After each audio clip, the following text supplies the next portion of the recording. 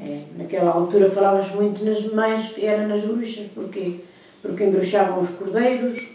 Uma vez meu avô tinha umas pessoas amigas e depois tinha um trigo, um trigo quer dizer, chungaram, e era trigo, não é?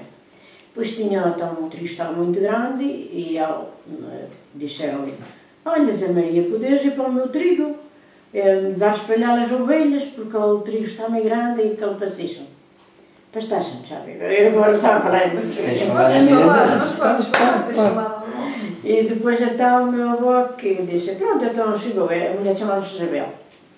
E, e disse, pronto, foi para lá, assim que meteu as ovelhas naquele trigo, começaram a morrer os cordeiros. Começaram a morrer os cordeiros, morreram os som, morreram os cordeiros. Até que foi à mulher que disse, olha Isabel, se me morrer mais cordeiros, mato-te. Asa Maria, vai, vai com o trigo, que não torna a Ela era bruxa. Ela, ela dizia mesmo que era bruxa. E depois meu avô viu que ela sim que era bruxa. Matava os cordeiros. Mas, não, isso era verdade. Isso era verdade que as bruxas faziam. E depois não só morreram mais. E depois não só morreram mais. Tá. Os cordeiros não estavam doentes. Era ela que os atafanhava logo. Pois, matou-os.